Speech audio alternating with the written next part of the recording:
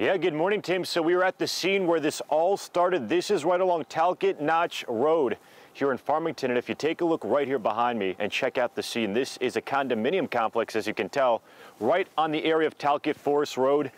And as you can also tell, this is a very wooded area around here. So police say they responded to a report just before one o'clock this morning after someone called believing there was a catalytic converter theft that was happening in this area.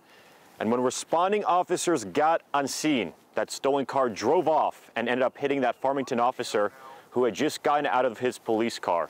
Now, more officers then continued pursuing that stolen car, which eventually crashed into the woods where the suspect or suspects ran away on foot. And police determined the car was stolen out of Middletown last month. And as for that officer who was hit, police say he suffered serious but non life threatening injuries and he was taken to St. Francis Hospital to undergo surgery.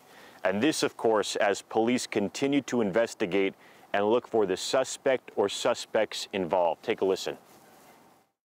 Uh, we, we don't know if it's one or two. There might be a second vehicle involved, and I didn't want to comment yet because we're unsure. We're still reviewing, the investigators are reviewing all the dash cam footage and stuff right now.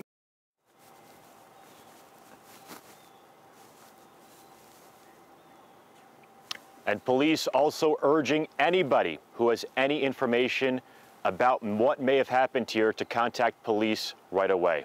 We are live in Farmington this morning. I'm Angelo Bavaro, Fox 61.